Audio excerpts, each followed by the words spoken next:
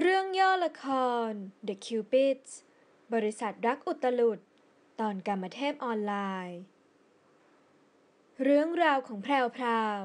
กรรมเทพสาวสวย ผู้ดูแลระบบไอที และห้องสนทนาของคิวปิดฮัทเมื่อสมัยเรียนนั้น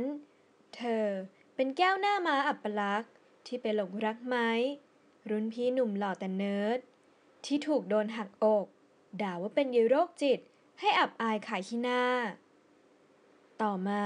เมื่อเธอประสบอุบัติเหตุทางรถยนต์ และได้ทำสัญญกรรมหน้าใหม่ทั้งหมด เธอก็กลายเป็นสาวสวยที่ใครๆก็ต้องเหลียวมอง ขณะที่พร้อมพล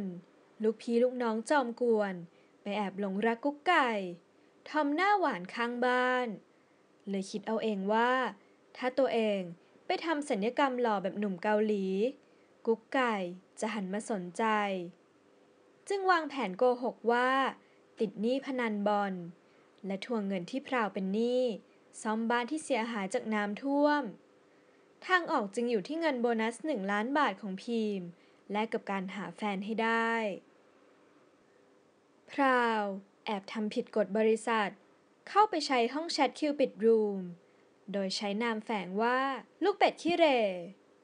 พื่อค้นหามิตรภาพที่นำไปสู่รักแท้จริง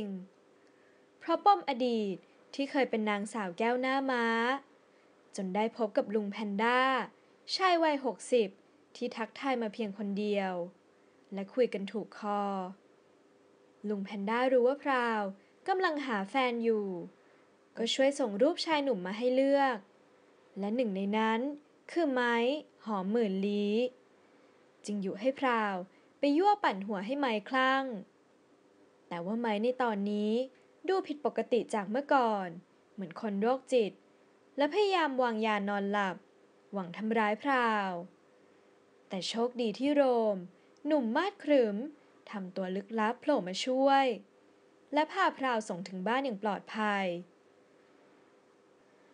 แท้จริงแล้ว โรมคือทนายส่วนตัวของไม้ ที่ได้รับคำสั่งจากมาร์ก เจ้านายของโรมที่อังกฤษ และเป็นอาของไม้ ให้ช่วยดูแลไม่ให้ไม้ทำร้ายผู้หญิง โรมไม่อยากทำงานนี้เท่าไหร่ เพราะเท่ากับช่วยให้ไม้หนีความผิด แต่เพราะบุญคุณเขาจึงจำต้องยอม จนเมื่อโรมได้ใกล้ชิดพราว เขาก็ตัดสินใจปกป้องพราวเพราะรู้สึกถูกใจเธอ โดยไม่รู้ว่าพราว คือลูกเป็ดขี้เหร่ ที่เขาคุยทางออนไลน์แทนลักอัครเมธหรือลุงแพนด้าพ่อแท้ๆของเขามาโดยตลอด เมื่อกามเทพกำลังเล่นตลก ให้เขาสองคนได้มาพบกัน